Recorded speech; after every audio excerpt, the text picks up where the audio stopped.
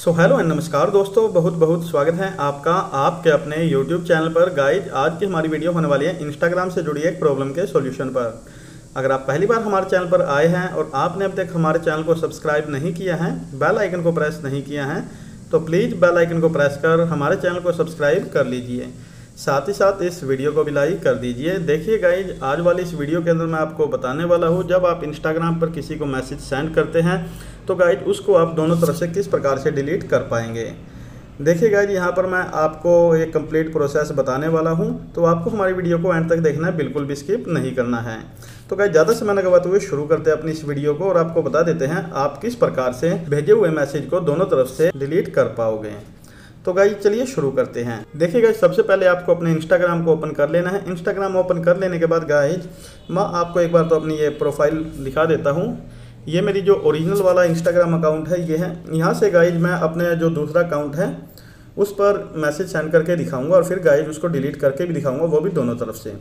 तो गाइज़ देखिए, सबसे पहले तो हमें क्या करना है, यहाँ पर आ जाना है। ऊपर राइट साइड में ऊपर की तरफ़ आपको ये मैसेज वाला ऑप्शन देखने को मिल जाता है।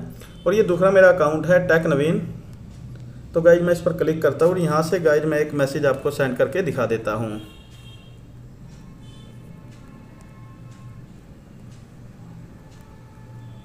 हेलो माय फ्रेंड तो गाइज़ ये मैंने यहाँ से सेंड कर दिया और गाइज़ आप ऊपर देख सकते हैं, ये नोटिफिकेशन भी आ गए हैं टैक नवीन 2021 तो उसको ये मैसेज सेंड हो चुका है।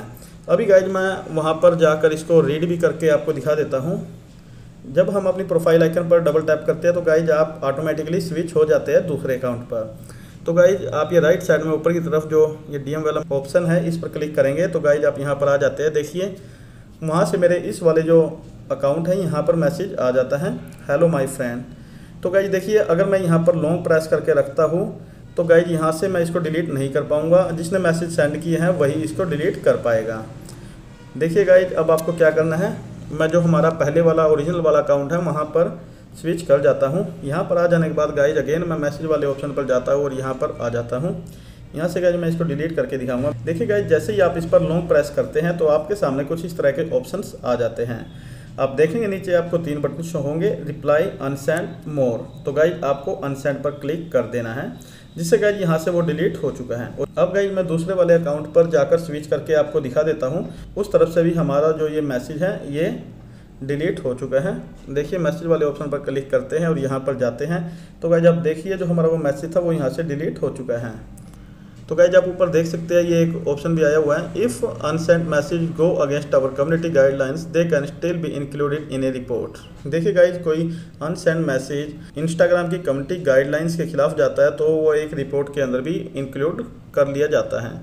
तो गाइज़ आज वाली इस वीडियो के अंदर मेरे को जस्ट आपको इतना ही बताना था। अगर आपको हमारी ये वीडियो पसंद आई तो प्लीज़ आप हमारे चैनल को सब्सक्राइब कर दीजिए और वीडियो को लाइक कर दीजिए। तो मिलते हैं एक नई वीडियो में, तब तक के लिए bye bye friends love you all take care